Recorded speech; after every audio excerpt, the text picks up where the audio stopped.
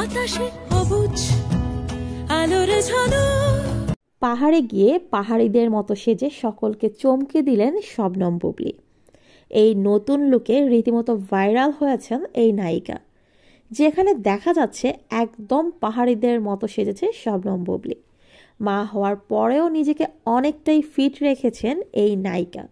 আর এই লুক নিয়ে এখন তার ভক্ত অনুরাগীরা প্রশংসায় ভাসাচ্ছেন তাকে।